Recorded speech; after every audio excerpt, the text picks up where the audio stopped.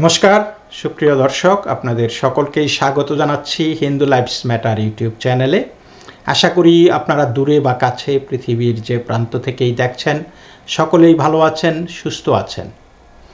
দর্শক, ভারতের পশ্চিমবঙ্গের হাওড়া জেলার একটি স্কুলে হিজাব এবং নামাবলী বিতর্কের জেরে স্কুল বন্ধ করে দেওয়া হয়েছে অনির্দিষ্টকালের জন্য। এই নিয়ে নেট মাধ্যম সরব।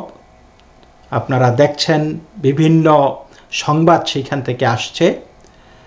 বিভিন্ন সূত্রে জানা গেছে যে এই হাওড়ার ধুলাগড়ি আদর্শ উচ্চ বিদ্যালয়ের দশম, একাদশ, দ্বাদশ শ্রেণির মুসলমান ছাত্রীরা হিজাব এবং বুরকা পরে স্কুলে আসতো এবং এই নিয়ে সেখানকার ছাত্রছাত্রীরা, হিন্দু ধর্মাবলম্বী ছাত্রছাত্রীরা, তারা অ্যাডমিনিস্ট্রেশনের কাছে অভিযোগ দাখিল করেছে এবং সেটা অনেক দিন ধরে। কিন্তু কর্তৃপক্ষ কোনো ধরনের পদক্ষেপ নেয়নি, যদিও সেই স্কুলে একটা নির্ধারিত ড্রেস কোড বিদ্যমান রয়েছে। মুসলমান ছাত্রীরা সেই ড্রেস কোড না মেনে শুধু হিজাব নয়, তারা আপাদমস্তক শরীর ঢেকে বুরকা পরে স্কুলে আসতো এবং সাধারণ ছাত্রছাত্রীদের আপত্তিকে অ্যাডমিনিস্ট্রেশন তোয়াক্কা করে নাই। এবং এই সাধারণ ছাত্রছাত্রীদের আরও দাবি যে নামাজের নাম করে সপ্তাহে দুই দিন অন্তত এই মুসলমান ছাত্রছাত্রীরা স্কুল থেকে বেরিয়ে যেত, স্কুলে তাদের পড়াশোনায় বিঘ্ন ঘটত এবং তারা এই নামাজ না পড়ে এই ছাত্রছাত্রীরা স্কুলের বাইরে চলে গিয়ে মহল্লায় ঢুকে পড়তো। মহল্লায় ঢুকে পড়ে তারা নানান অনৈতিক কাজে লিপ্ত ছিল, সিগারেট বিড়ি ফুঁকত, আরও নানান অসামাজিক কার্যক্রম সেইখানে চালাতো। এবং এই সব ব্যাপারেও এই যে নামাজের সময়, নামাজের কথা বলে যে তারা বেরিয়ে যাচ্ছে, এইগুলি বন্ধ করার জন্য তারা দাবি জানালে কর্তৃপক্ষ ভ্রুক্ষেপ করেনি। তারপর গত বাইশে নভেম্বর সোমবার সেইখানে এই স্কুলে পরীক্ষা শুরু হয়। এবং সেই পরীক্ষার মধ্যেও দেখা গেছে যে মুসলমান ছাত্রীরা হিজাব বুরকা পরে সেইখানে এসেছে এবং হিন্দু ছাত্ররা, ছাত্রীরা আবারও প্রতিবাদ জানিয়েছে। এর পরবর্তীতে পরদিন মঙ্গলবার তেইশ তারিখ তারা নিজেরা নামাবলী গায়ে জড়িয়ে পাঁচজন ছাত্র সেইখানে এসেছে, হিন্দু ছাত্র, এবং কর্তৃপক্ষ তাদেরকে বাধা দেয়। তাদেরকে স্কুলের গেটের ভিতরে প্রবেশ করতে দেয়নি। তখন ছাত্ররা বলেছে যে, মুসলমান ছাত্রীরা যদি হিজাব বুরকা পরে স্কুলে আসতে পারে, তাহলে আমরা কেন পারব না? আমাদের সেই অধিকার দিতে হবে যে, আমরা নামাবলী পরে আসব। স্কুল কর্তৃপক্ষ অনর যে না, এটা কোনো ক্রমেই দেওয়া যাবে না এবং তাদেরকে ঢুকতে দেয়নি। তারপরে এই হিন্দু ছাত্ররা নামাবলী খুলে তারা স্কুলে প্রবেশ করে এবং পরীক্ষা দেয়। এরপর এই মুসলমান ছাত্রছাত্রীদের সাথে নামাবলী এবং হিজাব নিয়ে সেইখানে স্কুলের ভিতরে গণ্ডগোল শুরু হয়। আপনারা ভিডিওতে সেই ভাঙচুরের ব্যাপারগুলি দেখছেন।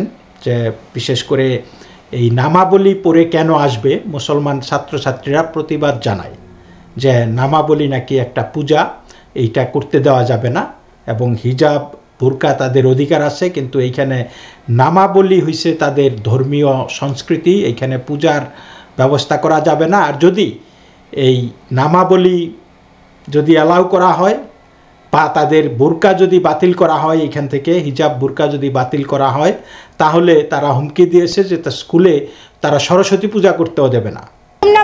সেই ওদের ড্রেস পরে আসছে যারা মানে পুজো করে। ভাজরাংবালির কি ড্রেস পরে আছে ওগুলো পরে এসেছিল। প্রতিবাদ করেছ হ্যাঁ আমরা প্রতিবাদ করেছিলাম। হ্যাঁ আমরা প্রতিবাদ করেছিলাম। ভাজরাংবালির কি ড্রেস পরে আছে ওগুলো পরে এসেছিল। প্রতিবাদ করেছ হ্যাঁ আমরা প্রতিবাদ করেছিলাম। আজকে ওই কয়েকজন হিন্দু ছেলেরা এ পরে এসেছিল। নামাবলী গায়ে দিয়ে এসেছিল। আচ্ছা আচ্ছা। তারপর? সেখান থেকে ওদের তার করসপন্ডিং মুসলিম মেয়েরা ওটা খুলতে বলে আর কি ছেলে মেয়েরা। যে ওরা না এটা খুললে ওরা এ দেবে না পরীক্ষা দেবে না এক্সাম দেবে না।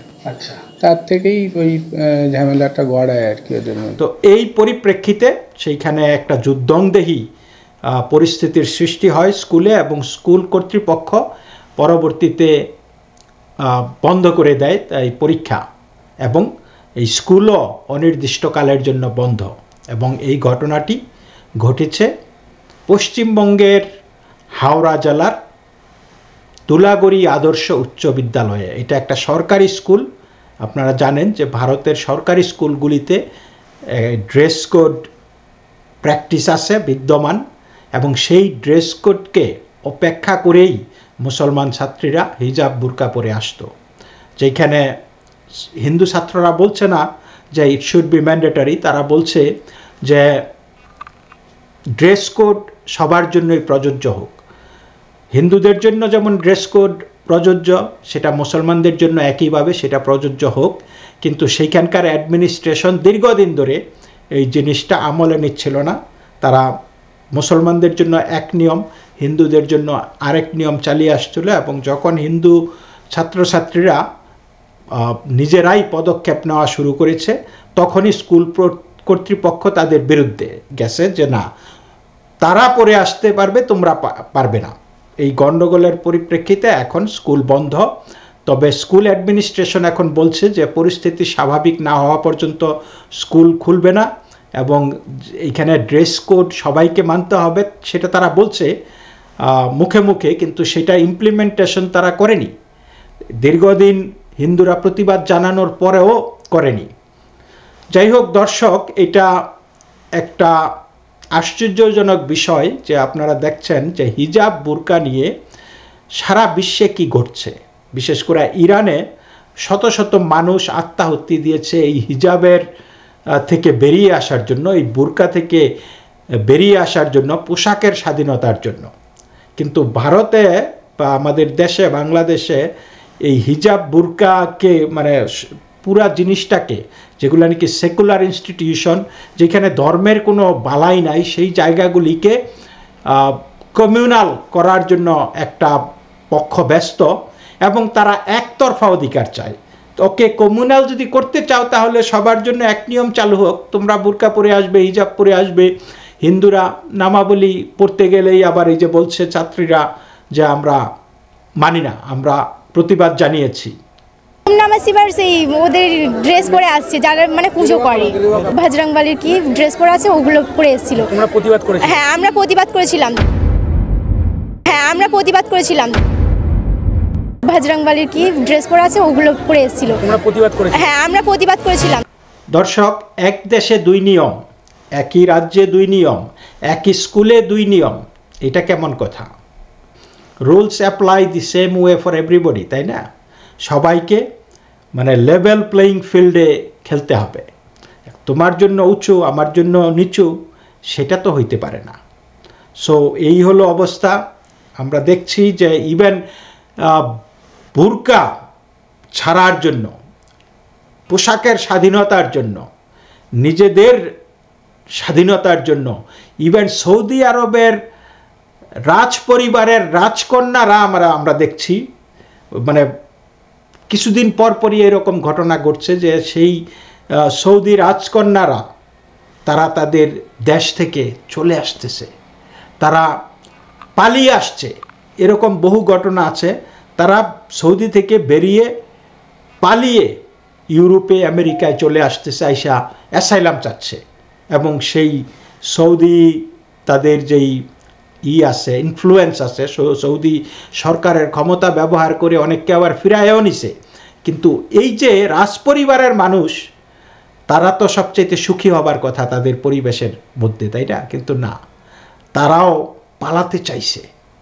তারাও পালাতে চাইছে, তারা মুক্ত বাতাসে নিঃশ্বাস নিতে চাইছে, স্বাধীনতা চাইছে, মত প্রকাশের স্বাধীনতা, জীবন ধারণের স্বাধীনতা, পোশাকের স্বাধীনতা চলাফেরার স্বাধীনতা।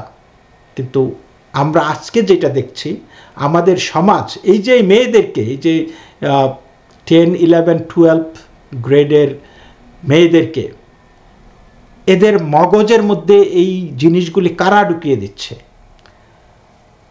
এই ভারতবর্ষ, বাংলাদেশ, ভারত, এগুলি তো এরকম ছিল না, গত বিশ, পঁচিশ, ত্রিশ বছর আগেও ছিল না।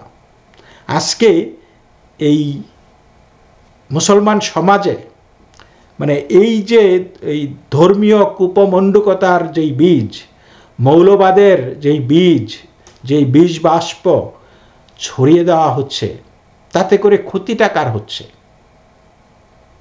এই মেয়েরা আজকে মুক্ত বিহঙ্গের মতো উড়ে বেড়াবার কথা, স্বপ্ন দেখার কথা, কিন্তু তারা এখন শুধু পোশাকের মধ্যে আবদ্ধ হতে চাইছে কেন?